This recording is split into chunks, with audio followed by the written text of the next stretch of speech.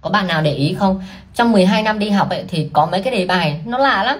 Chẳng hạn như khi mình làm bài toán ấy, có khi mình tính ra diện tích của một ngôi nhà lên đến 5.000 mét vuông thì chắc đây là nhà của tổng thống.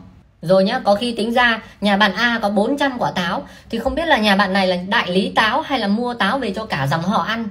Chưa đâu, có lần làm đề lý nhá, tính ra vận tốc đi xe đạp của một bạn là 70 km trên giờ. Ôi xe đạp này là siêu xe luôn. Còn có lần nhá, có bài tính ra quãng đường mà bạn Nam đi học là 500 km. Tôi thấy bạn Nam này là một người nghị lực nhất Việt Nam luôn, đi học 500 km. Thời buổi này làm việc tốt cũng khó lắm mày ạ. Tháng trước á, bác tao có mời tao đến ăn cái lễ khai trương thì tao có chúc bác tao thế này. Cháu chúc bác ngày nào cũng cháy hàng ạ Thế mà chả hiểu sao ông đuổi tao về Ủa sao kỳ vậy Mà ông bác mày khai trương cái gì ấy À ông mở trạm xăng Chưa hết đâu Tuần trước tao cũng đi ăn cái lễ khai trương của ông chú. Thì tao có chúc thế này. Cháu chúc chú bán được 100 đơn mỗi ngày. Mọi người ơi nhớ mua hàng ủng hộ chú nha. Thế mà chả hiểu sao mọi người cứ nhìn tao rồi đòi đấm tao nữa. Quái lạ sao lại thế được nhỉ? Mà ông chú mày bán cái gì ấy? À ông chú tao thì ông bán quan tài. Nhưng mà cái vụ này mới cay nè Hôm qua đứa bạn có mời tao đến nhà nó ăn tiệc Thì tao có khuấy động không khí như thế này. Nào nào nào các bạn ơi Chúng ta cùng nâng ly lên nào. Chả mấy khi có dịp như thế này. Một hai ba vô Đấy chả hiểu sao mà người nhà nó đòi đấm tao. Ô thế thì quá tốt chứ có gì đâu nhở? Ơ mà cái đấy là tiệc gì ấy? À đám tang ông nội nó.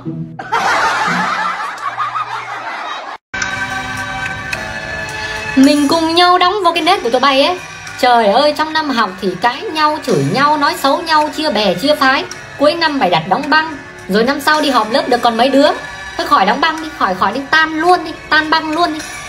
Ê, có ai như mình không? Kiểu không, ở đây không có ai như bạn cả. Ở đây ấy, chắc có mình tao ấy là Đúng rồi đấy, chỉ có mình bạn là như thế thôi. Công nhận ở đây ai cũng đẹp ấy Có mỗi mình mình là xấu thôi. Đúng, chính xác, mình đồng ý với ý kiến của bạn. Ê, tao nói này mày đừng có chửi tao vô duyên nha. Không, nếu vô duyên mình vẫn sẽ chửi Hoặc là bạn có thể ngậm cái mồm lại. Thôi các bạn đừng có đánh nhau nữa. Nam, Tuấn, đừng có đánh nhau nữa mà. Trời ơi Ông bình tĩnh lại, ông bình tĩnh lại đi Nam ơi. Ông nhìn vào mắt tôi này, ông nhìn vào mắt tôi này. Ừ, bình thường ông đâu có như vậy đâu. Ừ, đừng, đừng đánh nhau. Tuấn ơi, tránh ra. Tôi đã bảo là không đánh nhau mà. Trời ơi ừ. Khi tôi làm toán mà ra kết quả sai kiểu Vận động viên này chạy với tốc độ là bao nhiêu?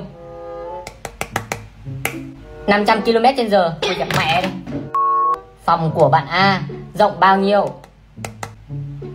Âm 20.000 mét vuông. Dẹp mẹ đi. Số học sinh của lớp bạn B là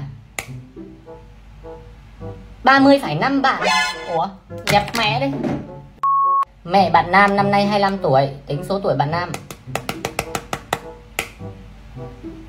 Bạn Nam 14 tuổi. Dẹp mẹ đây.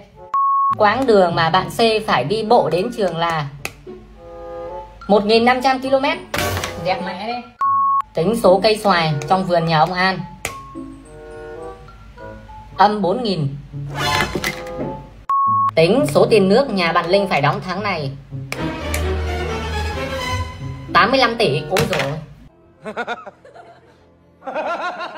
Bạn ơi mình có thể ngồi ghế này được không ạ? À không, ghế này không ngồi được đâu ạ. Ơ ghế này bị bẩn hả bạn? Không, bẩn ghế.